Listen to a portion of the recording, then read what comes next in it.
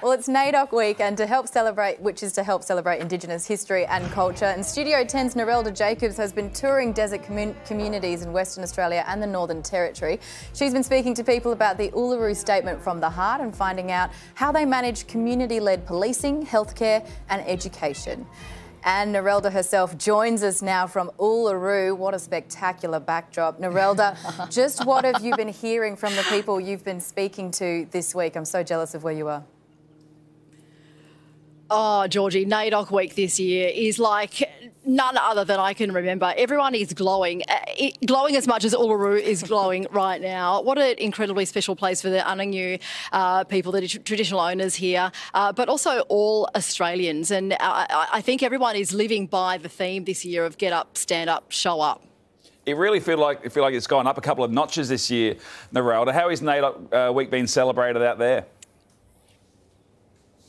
Uh, well, there's they're offering a cultural experience. to traditional owners, the Anangu, have joined forces with the National Park staff to uh, roll out some cultural experiences for people who are visiting the, the, the National Park's uh, headquarters. And then on Friday, there's going to be a march through town for NAIDOC. And I, I think, you know, everybody is banding together uh, to make it extra special this year because, uh, yeah, as you said, Pete, we haven't had a NAIDOC week physically for the, for the last two years. So this is the chance for us all to, to get up, stand up, show up. Uh, hey, I know you personally are, are, very attached to the Uluru Statement from the Heart. You've spoken to me about it at length. I'm just wondering whether being there in the centre of the continent, talking to community, is changing, evolving your perspective on it.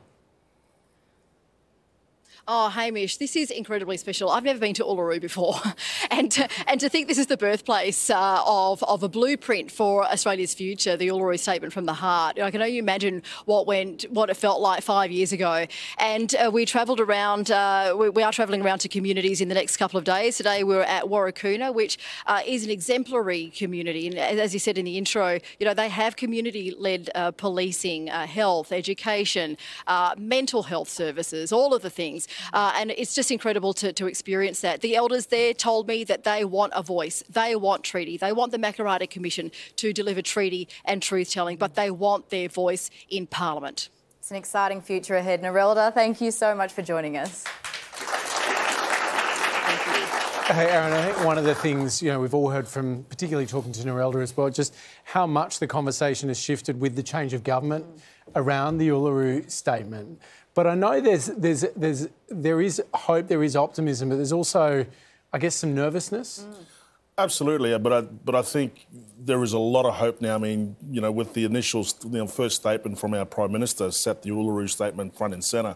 So I think we've got an, a government that is far more prepared, is, is about to roll out a strategy, strategy um, that will embrace, but also, you know, uh, embrace the, the voice the voice of our people um, and also recognise the Uluru Statement.